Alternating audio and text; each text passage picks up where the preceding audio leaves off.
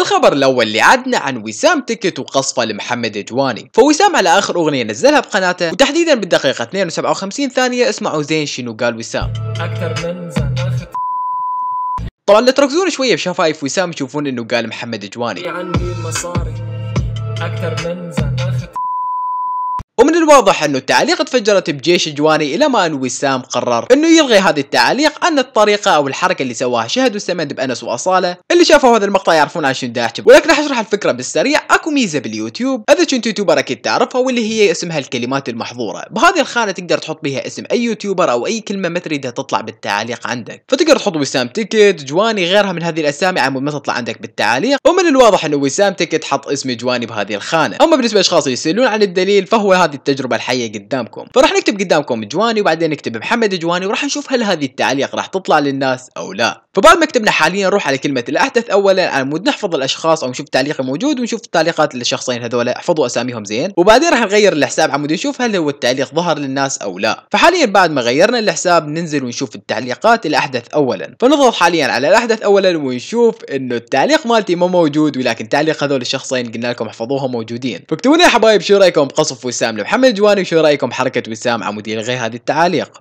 الخبر الثالث اللي عدنا عن انور ومحمد مار ومقلبهم بنور مار. فمحمد نزل على حسابه بالإنستغرام هذا ال story اللي يقولون بيه إنه سوى مقلب بنور مار كلش قوي. وراح ينزل على اليوتيوب يوم الثلاثاء ومن واضح من شكل نور مار إنه المقلب قوي. شوف هذا ال story وتفهمون أكثر. يوم مقلب بمين؟ بنور؟ أنا دقولي دقولي. قلت لهم تمام حطوها هونيك عرفت كيف؟ صباح الخير يا اسطى. يا جماعة بكرة اليوم بكرة إمتى تنزلوا يوم ثلاثاء؟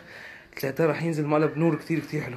قناته صباح الخير يا أسطى. بعدها نور نزل على حسابه بالإنستغرام هذا الستوري اللي هو ردة فعله بعد ما صار بيه المقلب. شوفوا. عملوا مقلب فيني يا جماعة؟ هذا ال... هذا البيض. لحظة لحظة. وهذا ال... هذا. يوم يوم ثلاثة رح نزله. غايب معه اسكتي انت الخبر الثالث اللي عدنا عن مفاجأة يارا مار وأنور مار. فيارا نزلت على حسابها بالإنستغرام هذا الستوري هي وأنور واللي تقول بيه إنه انتظروا يوم الأربعاء أكو مفاجأة ومقاطع خرافية راح تنزل. أنا وإنزل صورنا لكم فيديوهات كثير كثير كثير حلوين كونوا جاهزين يوم. يوم الأربعاء الساعة 4 وأربعة بعد بعد بنقول لكم بعد الأربعاء. يوم الأربعاء الساعة أربعة لا مو الساعة أربعة. الساعة ثلاثة وثمانية وخمسين. أيوة 3 و 58 كونوا صح. وأنا أيمت 4 و10 ما بقى 10 و4 وربع يمكن. يعني 4 10 4 وربع بنقرر نحن بنشوف.